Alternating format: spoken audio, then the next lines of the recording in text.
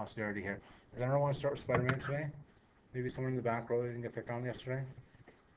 Someone from the back row want to pick Spider-Man? Because it's the easiest question starts first, the easiest question. All right. You're not in the back row, but that's fine, all right? All right. Um, Troy, Uh, so you do do the first step, please. Go ahead. Negative three plus negative five equals, um, negative eight. You can stop right there.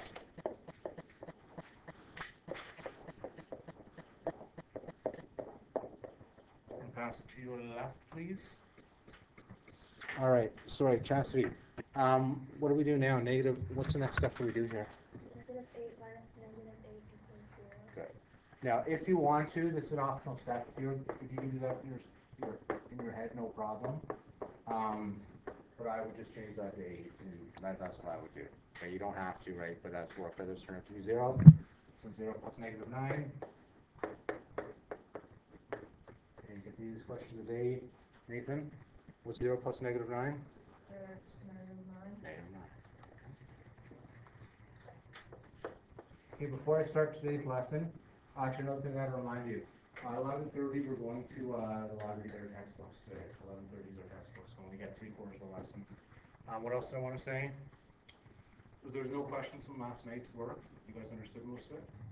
Even the patterning stuff? The patterning was fine too? All right, here we go, here's today's lesson. So you're gonna go to your table of contents, of course.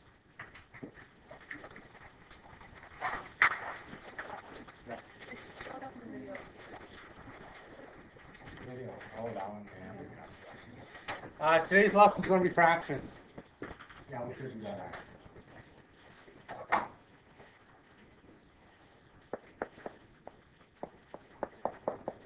So if you remember from yesterday, I'm gonna borrow yours right here, if you don't mind. Okay? To.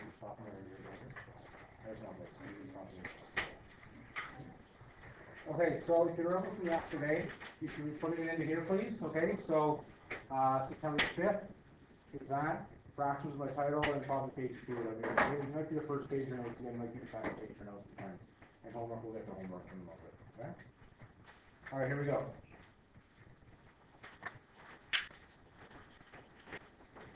Uh, who up to? Okay, uh, Luke, we're doing, um, we're doing everything with fractions today. So I hope you guys love fractions. I'm gonna, again, the test is gonna be Tuesday, if you remember. There'll be no calculators, you will need to get practiced up in your fraction skills Are they, again. both, are they like integers and fractions? There's everything, integers, fractions, and tomorrow too. There's only three things on it. Okay, okay. So again, we're doing everything with fractions like today, Luke. I'm gonna start with lowest terms. What does lowest terms mean? Do you remember? Uh, reducing it to, it's like, instead of like, be a hundred, it's gonna be like, Yeah, okay. So we're gonna say, um, to make fraction in lowest terms.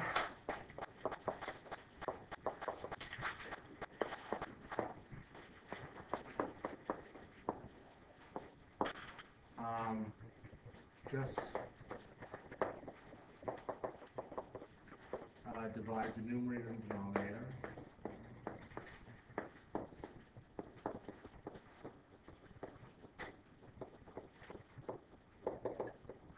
Someone in our room that numerator and denominator, um, by factors. Uh, usually prime numbers.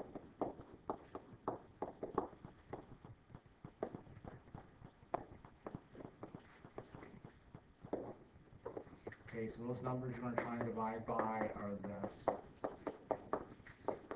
Okay, Those are the numbers you're gonna normally try and divide by. Now, before you say, Mr. Sadler, ten is not prime.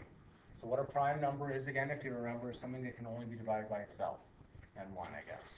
So two is only one times two, three is one times three, five is one times five, seven is one times seven, and so on.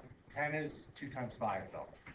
Why would I try and, why would I include ten by something to bring something to lowest term, just for everybody here? Why is ten listed on that? For a hundred? Yeah, right? this, like, if it ends in a zero, then ten is like the easiest thing. Right on. If, if it ends in a zero, just go zero. We'll get, can pass that, please, yeah. But that's right on. Okay. So let's do a few examples here. Um, bring the lowest terms.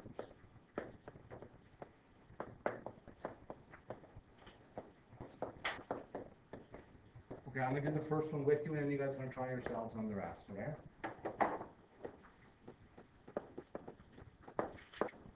Okay, eighteen out of twenty, okay? So this one's straightforward, it should be. First of all, if, uh, uh, Helena, when you see this one here, what does it instantly can it be divided by and why? Two, because they're both, um, even. Yeah, right on. As soon as you see even numbers, you say, well, I can bring that down, right? Okay, so they can divide by two. You can do this any way you want. Because it's our first, second day, I'm just gonna do this. You don't have to write that if you don't want to, you can just go to nine over ten. Okay, so what I did, for those that are sitting there quietly in the front or the back, and saying, I don't know what just happened there, to bring the lowest terms, they can both be divided by two because they're even. Eighteen divided by two is nine, right, and then twenty divided by two is ten. Both the numerator and denominator both need to be divided. There is a student, I don't wanna call him a jerk, yeah, I'm going to call him a jerk. He decided to use decimals and his fractions, don't use decimals and his fractions, I'm gonna take off marks, it's not necessary. Like, he would call this zero point nine over one, or 0.45 over 0.5. he'd be weird like that, don't do that, please, okay, it's a nightmare. If you're saying, I wanna do that,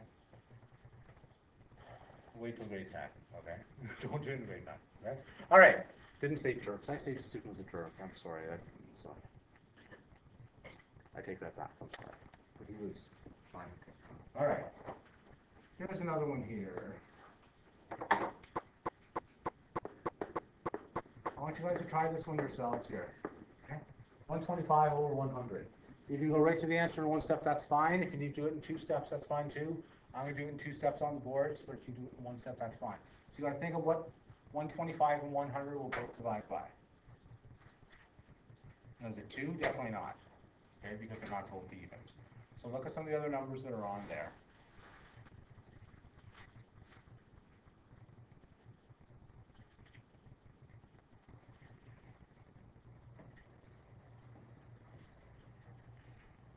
Okay, I'll pick on Sage here. Do you have any idea, what is one twenty-five and one hundred both divide by?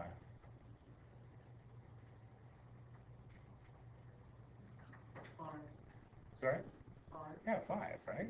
And again, whenever there's a five and a zero, they divide by five. Two's not gonna work, three's not gonna work. You just go right along the line, right? Two, three, five, seven, you know, and you go right along the line. So, I'm gonna divide by five. So that should be twenty-five over twenty. So, here we go. I'm sorry, Owen. Are we done? No. Sorry, Owen, other Owen, both Owens, either Owen is done. How do I know we're not done, what can we still do, Owen, over here? Good, well, what can we divide them both by? So, Hold on. Five again, right? And that's okay, right? So the five and a zero means you divide by five, right? So that's okay, we'll divide by five again.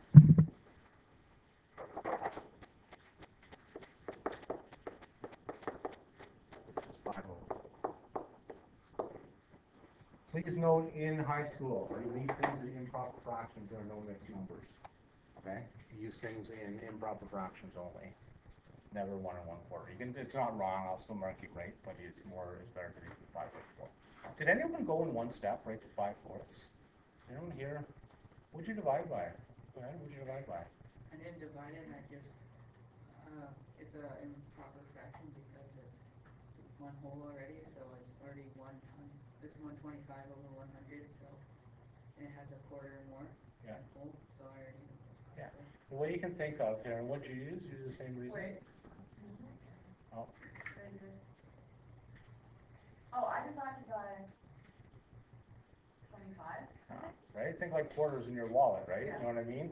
Four quarters makes a dollar, five quarters makes a buck and a quarter. If you use simple money, right, so you divide by twenty-five there right away. And the funny part is here, if you take a look, 5 times 5, 25. So it's two steps in one topic doesn't really make a difference. Okay? Sort of good? Mostly? Ordered your minds yet? Perfect. All right, good. All right, awesome. Okay. I'm going to give you about 30 seconds. to Try this one. I'm going to pick on somebody. 9 divided by 30.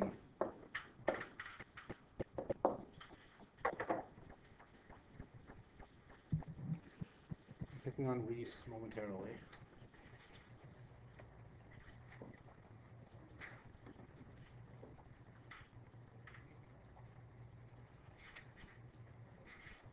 Know, someone always asks me, Mr. Sadler, if I give you an answer of two over four, is that wrong? It's not wrong, but you will lose half a mark on your test, okay? Um, you always want the simplest in life, okay? And if you don't believe me, I will give you any question I give you, that's what math is, It's taking something complicated and making it simple, right? So we want to make things as simple as possible. okay?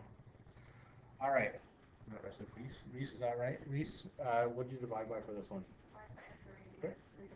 Awesome, by.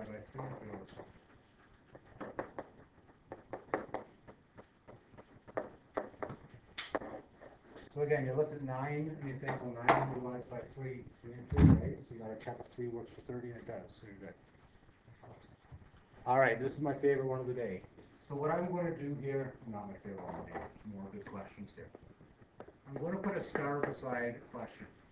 Someone will take a guess what a star beside a question means? First one, Not the hardest one. Probably one of my personal favorites, so, what do you, important. important one, it's probably a good one to know before you go through your test, it's probably a good idea to look at that note again to make sure that you remember that one. It's probably got it up on your test or something like it, okay, or something very. A question like this, you're probably gonna see on your test, with no calculator, okay? With no calculator, now before you say, oh my goodness, Mr. Sellers, I can't do that. You can do that. When you look at that question, there should be one trigger to do instantly on your first step. Sorry, I'm... Amelia, what's the first thing you instantly think you can do on that right away? What? You can't divide by 2. I was going to think of something else. Yeah, take away the zeros, right? So we're just going to divide by 100 and we'll divide by 2 after. We'll divide by 100. You can write divide by 100 if you stroke up the zeros. So you just get 24 and 36 everyone see how we did that? Right, when there's two zeros, or one zero, or a hundred zeros, you can just cross the zeros as long as they're the same top and bottom. Okay? Um, sorry. Jessica? What do we divide by now, please? Two. Two Two sounds good to me.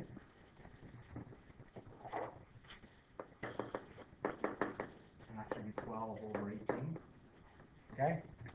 Um, sorry, my mind's gone. Lauren, are we done? And divide it by two. Very good, let's keep going.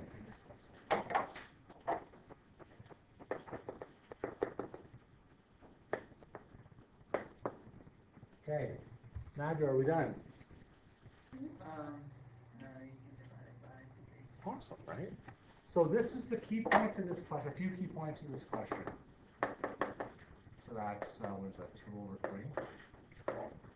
Now, I bet there's someone in the back, let's call him Tyson. They can say, well, Mr. Sadler, I see it's two-thirds right away, okay? And if you see it's two-thirds right away, that's fine. If you don't, there are, most people in this class, what they do is they divide it by one thing, then they stop. Okay, right, you can keep going, right? That's the key thing I wanna show in this question, okay? That might, uh, because I guarantee on the test, I'll do one that's very difficult to find. It's not impossible to find right away, but it's very difficult to find right away. Okay, so you may have to do it two or three times. Okay, make sense? Everyone sort of get what I'm saying? I'm gonna pause in the video and take a breather, and, uh, then we'll come back in a sec.